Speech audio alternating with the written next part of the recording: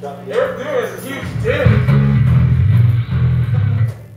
This one's a little lot less crazy. it's so big. It's so possible.